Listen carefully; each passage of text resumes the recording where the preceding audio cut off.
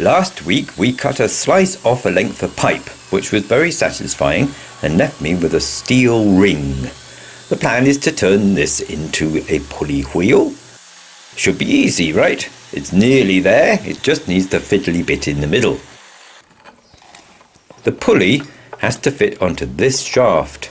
It's a 35mm shaft, but if you cut a 35mm hole with a plasma cutter, it will usually be slightly too big or slightly too small, depending on things like the newness of the tip. So I'm starting by making some test holes in small squares of steel, experimenting with the drawing till I found a snug fit.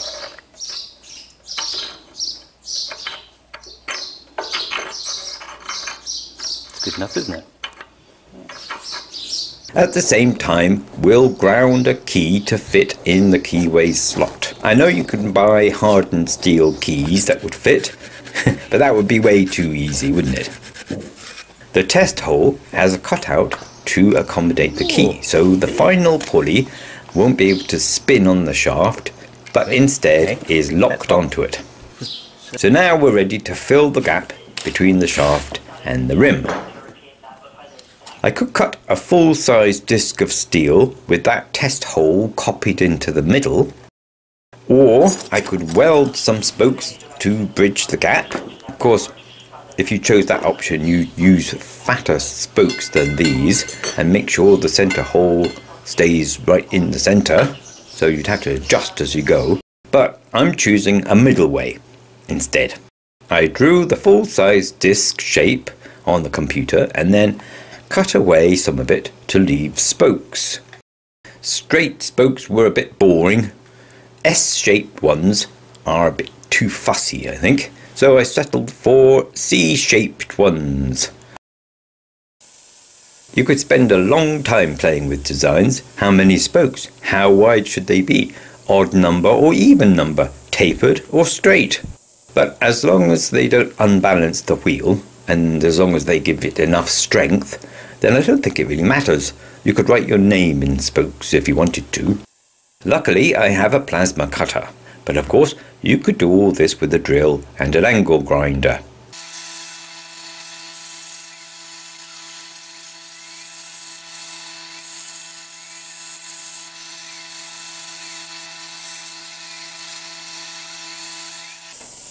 And here it is, although I cut two to make a stronger wheel.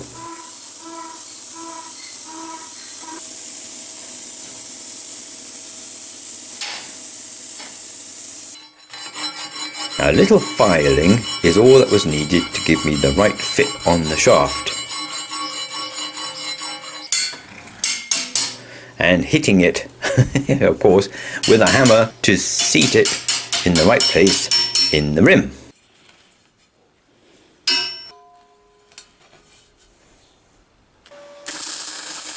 I just tacked it in place with the welder. Will's the real welder, so I'll let him do a tidy job later.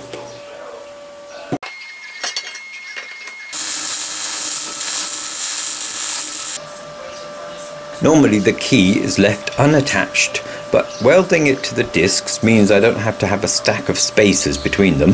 The pulley will still slide on and off, of course.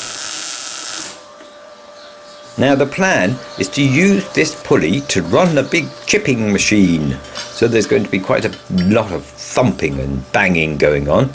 So I'm not taking any chances. That's why I'm putting this second disc in. Pretty solid now.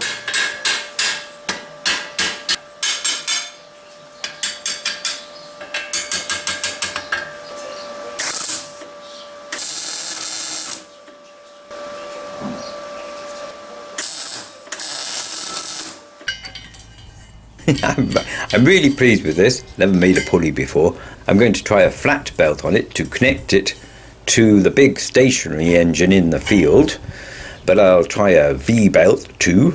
See how that goes on. Watch this space.